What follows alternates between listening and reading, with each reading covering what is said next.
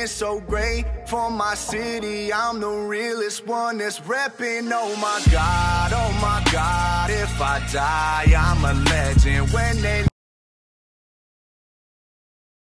a new part of our uh, baseball coverage on ESPN this year and has ooh, done a great job. And Hunter Strickland now, here we go. Harper's charging the mound. Oh my goodness. Whoa. Well, Harper who hit two home runs against Hunter Strickland in the playoffs in 2014. Strickland drilled him with the first pitch, and Harper took it personally, and I don't blame him.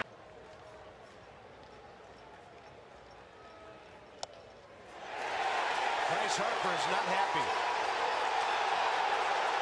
And he's gone.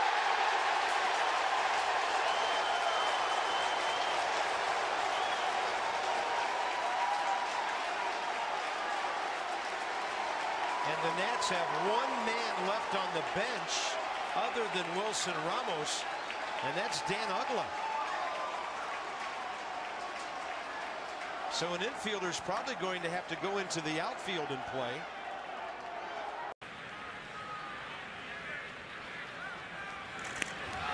Wow. Right in the middle of the leg, and Harper is very unhappy. Here they come from the dugouts. They're coming from the bullpens. I mean, that ball was so far inside. Bryce Harper, no chance to get out of the way. And if that wasn't intentional, that's the miss of the year by a pretty good pitcher.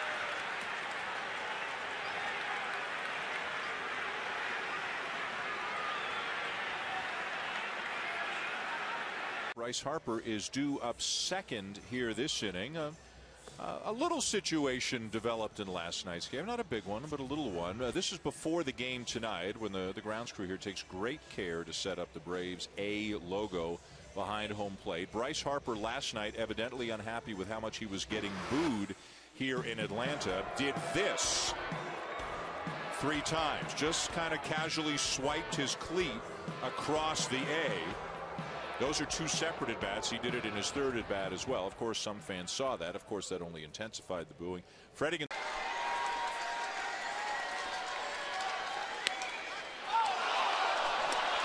Well, Bryce is gone. You know that. The helmet, the bat, and Mike Winters tossed him immediately. One out, bottom of the 10th. Chris Heisey, the only man the Nats have left on the bench. And that's exactly why that can't happen.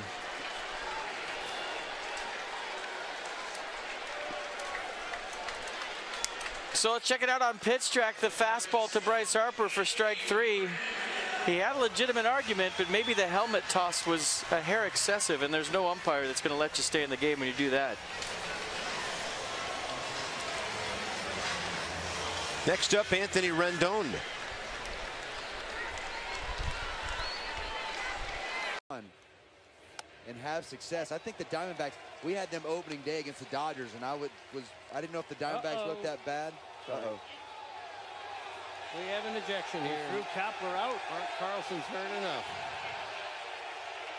Uh-oh, Harper's coming out of the dugout as well. He throws he throws his manager out of the way, and you could see this coming from both Harper at bats.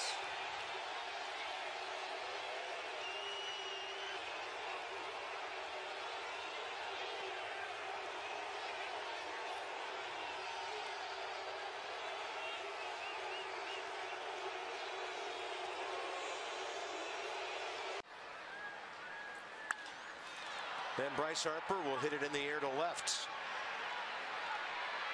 Jeff Francoeur, after switching over, makes that catch. There is something going on in the dugout. See Papelbon saying run the ball out. And Bryce saying you got to be kidding me. And then Papelbon went right after Harper. It's getting ugly, folks. There's no other way to put it. That stuff happens throughout the course of the season, but with Bryce Harper evidently nose to nose with Jonathan Papelbon. That's not good. I mean, you could read his lips. He told him, you got to run that ball out. And Bryce Harper said, are you kidding me? Unbelievable. I ain't here for the money, I ain't here for the fame. Though it might be nice to own a jet plane, I'ma do it all for you. Come along and see it's true, but the